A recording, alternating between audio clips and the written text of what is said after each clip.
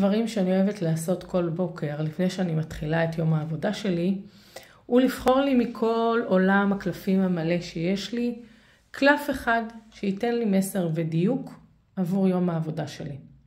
אז היום בחרתי אה, לקחת את אה, קלפי הפנימיאלים ולקבל חידוד למה שאני צריכה להעביר הלאה היום. פנימיאלים אומרים דבר כזה, פזמון העידן הישן, לא אוהבים אותי, לא נותנים לי, לא מבינים אותי ולא מעריכים אותי. פזמון העידן החדש, אני אוהב את עצמי, אני נותן לעצמי, אני מבין את עצמי ואני מעריך את עצמי.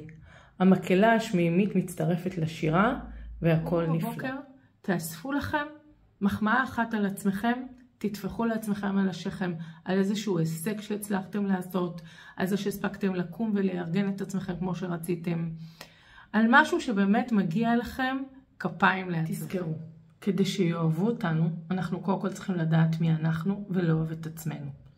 אז תחמיאו לעצמכם חופשי, וככה הסביבה תקבל אתכם יותר. אז שחררו את הפזמון הישן, ופשוט תתחילו להתחבר לדברים הטובים שיש בכם.